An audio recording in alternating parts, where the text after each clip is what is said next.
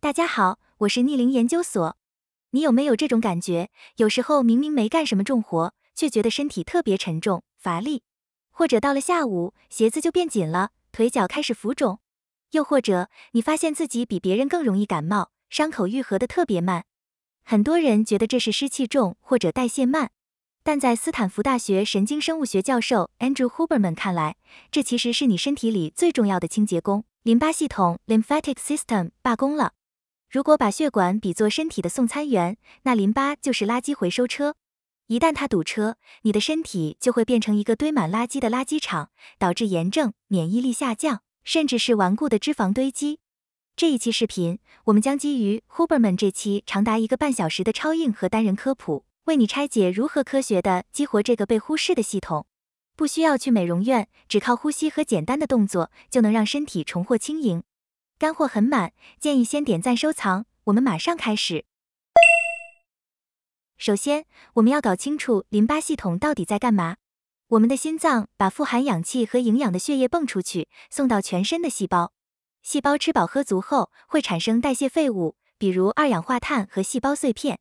大部分废物会通过静脉运走，但还有大量含有废物的液体，每天大约有三到四升，会滞留在细胞之间的缝隙里，组织间隙。如果这些液体不被清理，你的组织就会发炎、肿胀。这时候淋巴系统就登场了，它像一张巨大的网，把这些脏水收集起来，过滤掉病毒细菌，最后送回血液循环。但是这里有一个巨大的设计 bug，我们的血液循环有心脏这个强力的泵，可以把血泵到全身，但是淋巴系统是没有泵的，它完全是一个被动的系统，而且还要对抗地心引力。把脚底板的液体一路向上运送到锁骨附近，这就意味着，如果你久坐不动，没有任何外力去推它，淋巴液就会停滞。这就解释了为什么坐了一天飞机或办公室后，你的腿会肿，人会觉得累。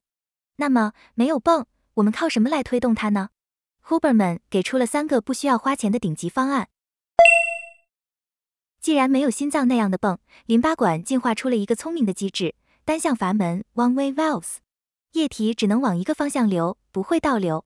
方案一，利用重力振动。Huberman 特别推荐了一种运动，rebounding 蹦床，或者是简单的抖动身体。你可能会觉得跳来跳去很滑稽，但当你上下跳动时，身体的重力变化配合那个单向阀门，就像挤牙膏一样，把下半身的淋巴液一节一节的往上推。如果你家里没有蹦床也没关系，走路是最好的替代品。Huberman 建议每天至少七千步，不仅仅是为了消耗热量，更是为了通过腿部肌肉的收缩，把淋巴液挤回心脏。另外，如果你经常腿肿，游泳也是绝佳的选择。水的压力会给皮肤表面带来自然的挤压，就像穿了一件全身的压缩衣，非常有助于淋巴回流。如果说运动是靠肌肉挤压，那么接下来的这个方法就是利用我们身体自带的隐藏泵。这也是这一期最硬核的知识点，在你的腹部深处，脊柱前方有一个巨大的淋巴液储存池，学名叫乳糜池 （cisterna chyli），它是下半身淋巴液汇聚的中转站。怎么把这里的水排空呢？靠横膈膜呼吸 （diaphragmatic breathing）。Huberman 解释说，当你进行深度的腹式呼吸时，也就是吸气时，肚子鼓起来，横膈膜会下降。这个动作会改变腹腔的压力，直接压扁这个乳糜池，把淋巴液像泵水一样强力泵入胸导管，送回血液循环。实操方法非常简单，每天早起或者久坐感觉疲惫时，做五至十次深度的腹式呼吸。吸气，用鼻子深吸气，专注于让肚子像气球一样鼓起来，而不是胸部抬起。呼气，慢慢吐气，让肚子瘪下去。就这么简单。只要几次呼吸，你就在物理上加速了全身的排毒效率。这是一个在办公室、飞机上都能做的作弊技巧。除了排毒，淋巴系统还是你免疫力的护城河。你感冒时，脖子上的淋巴结会肿痛，那其实是淋巴结里的免疫细胞 T 细胞、B 细胞正在围剿病毒。